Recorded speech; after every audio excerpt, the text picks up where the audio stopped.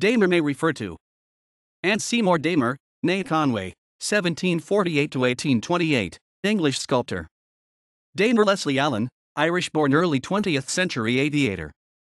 George Damer, 2nd Earl of Dorchester PC, PC, Ire, 1746 1808, British politician, styled Viscount Milton between 1792 and 1798. George Dawson Damer, 1788 1856, British Conservative Party politician.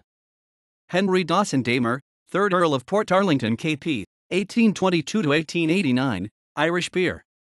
Joseph Damer, 1st Earl of Dorchester, 1718 1798, wealthy landowner associated with reshaping Milton Abbey and creating the village of Milton Abbas in Dorset, England.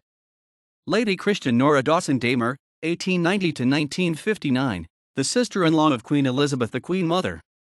Lionel Dawson Damer, 4th Earl of Portarlington, 1832 1892, British peer and conservative politician.